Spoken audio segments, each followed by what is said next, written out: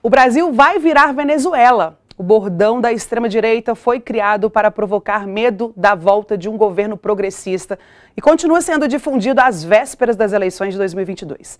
Entenda o que está por trás da expressão na reportagem de Lucas Estandislau, direto de Caracas. Após ganhar força e ficar famosa nas eleições de 2018, a expressão o Brasil vai virar a Venezuela segue presente na campanha presidencial de 2022. Seja como meme ou palavra de ordem, a frase é utilizada de forma recorrente pelo presidente Jair Bolsonaro e replicada por seus apoiadores. No primeiro debate transmitido pela Rede Bandeirantes, o candidato à reeleição mencionou o país vizinho para atacar o ex-presidente Lula e insinuou que se o candidato do PT fosse eleito, o Brasil poderia viver um cenário similar ao venezuelano.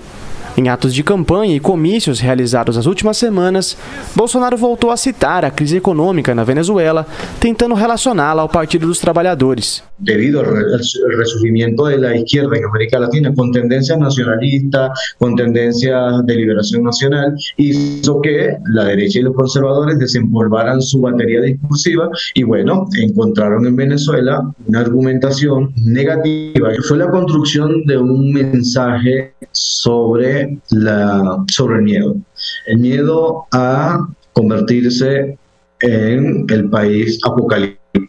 El miedo a convertirse en que voy a perder mis derechos, mis libertades, mis propiedades y, e incluso el miedo a convertirme en parte de los bárbaros. A crise econômica enfrentada pela Venezuela desde 2014 foi parte central da narrativa utilizada por setores da direita para atacar oponentes de esquerda em outros países da região. A ideia, segundo especialistas, consistiria em simplificar a complexidade da crise no país e sugerir que qualquer proposta progressista terminaria em fracasso. Se trata basicamente de uma de uma manobra retórica para apresentar a ideia de que né, todos os países socialistas fatalmente levarão a uma crise econômica, etc. Esse, esse é um discurso que, como eu falei, esvazia o sentido. Né?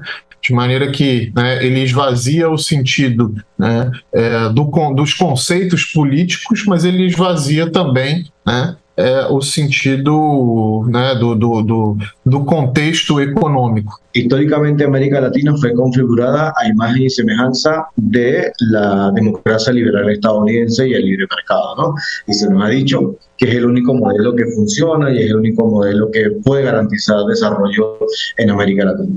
Cuando se presentan propuestas alternativas, como la propuesta de Venezuela, se plantearon gobiernos de izquierda que eh, su orientación ideológica, no dudaron en decirla, que en su momento era el socialismo del siglo XX. Cuando se instrumentalizó este, este discurso de una nueva izquierda en América Latina, los conservadores y la derecha de América Latina debía tener uma base discursiva para eh, identificar um inimigo ideológico. Na corrida presidencial brasileira, entretanto, as comparações com a Venezuela já começam a dividir espaço com outros países. É comum que Bolsonaro cite a Argentina, o Chile e a Colômbia, governados também por partidos de esquerda, para fazer críticas a Lula e a forças progressistas da região. Ela não precisa mais ser evocada, né, senão como, né, digamos, aquele arquétipo absoluto né, do, do, dos efeitos perniciosos que um governo de esquerda com, com viés socialista é capaz de imprimir a uma nação, assim, de maneira que né, é, a Venezuela ela entra no bolo né, junto com outros países, mas basicamente porque né, é, é, é essa, essa imagem já está tão arraigada no imaginário conservador reacionário brasileiro né, é, que ela sequer precisa ser né, constantemente evocada como foi naquela altura.